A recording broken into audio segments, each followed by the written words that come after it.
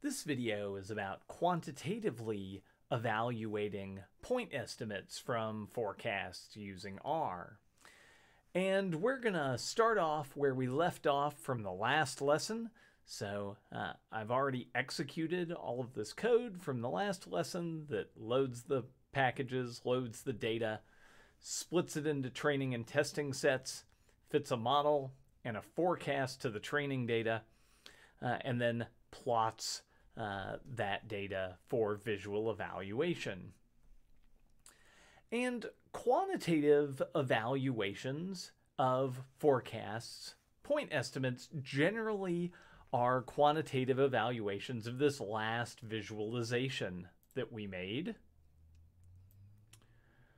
which is this one to one plot relating the predicted values to the observed values. And there are then a variety of different measures that capture how far, on average, an observed value falls uh, from this predicted line.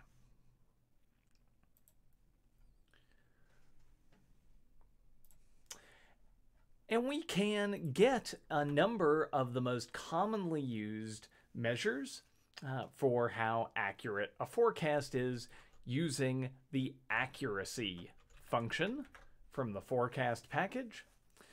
And it takes a forecast as its first argument. So that's the forecast that we fit to our training data.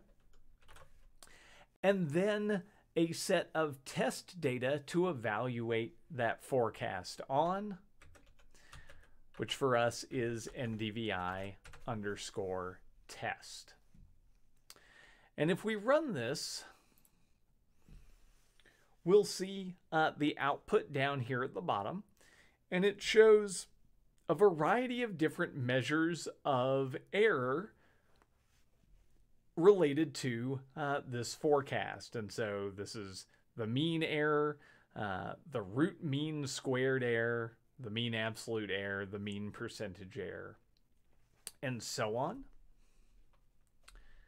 Uh, two of the most commonly used error measures uh, for uh, forecast valuation are the root mean squared error.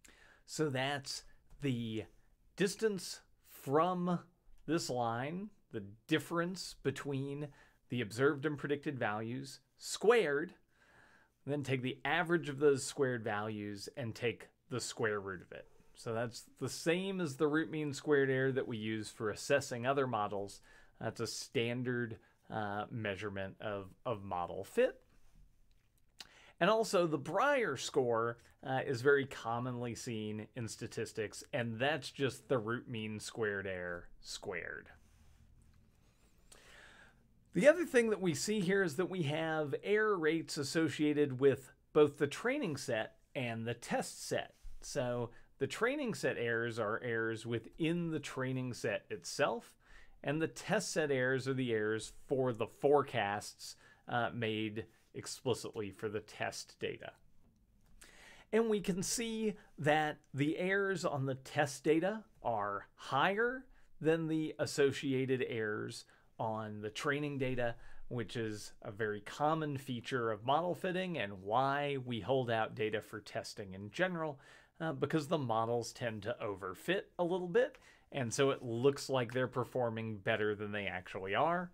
And so uh, typically we want to have that separate chunk of test data, and those are the error rates that we actually want to interpret in terms of telling us how good our model is. So now let's pause for a second uh, and have you uh, try out the accuracy function on uh, the seasonal ARIMA model uh, that you built at the end of the last lesson, and then we'll get back together and compare them to one another.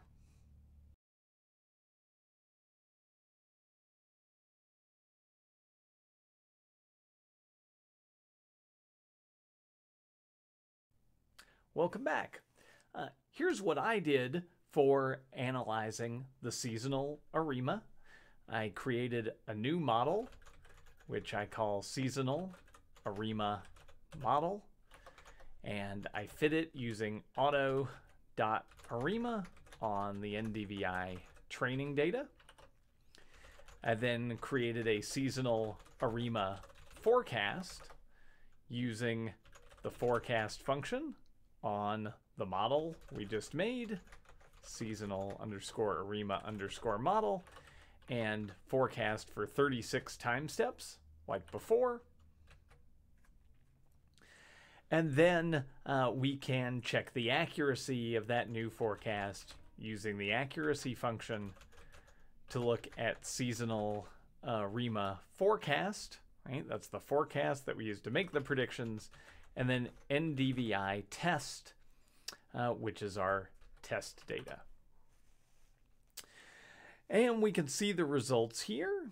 And if we make this a little bigger so that we can compare them to one another, we can see that on both the training set and the test set, our errors are lower for the seasonal ARIMA forecast than they were for the non seasonal ARIMA forecast. And so it seems like the seasonal model is doing better uh, in terms of error rates uh, than the non seasonal model. It's performing better from a quantitative perspective. And we can also see uh, that even the remaining autocorrelations indicated by uh, the autocorrelation function time step one here uh, are reduced in the seasonal model relative to the non-seasonal one. So that's the basic idea behind how to do quantitative comparisons of point estimates. They are very similar to other kinds of model performance comparisons. We're looking to see how far the observed values are away from those forecast by the model. There are a variety of different metrics that are used to determine that, with two of the most common in forecasting being the root mean squared error and the Brier score, which is the root mean squared error squared. We can get a whole variety of different error metrics for our forecasts using the accuracy function, which takes the forecast as the first argument and held out test data as the second argument and shows us the results for both the training data and the test data.